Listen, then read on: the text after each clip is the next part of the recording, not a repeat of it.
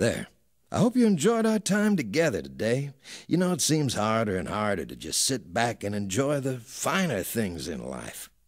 Well, till next time. Ta ta.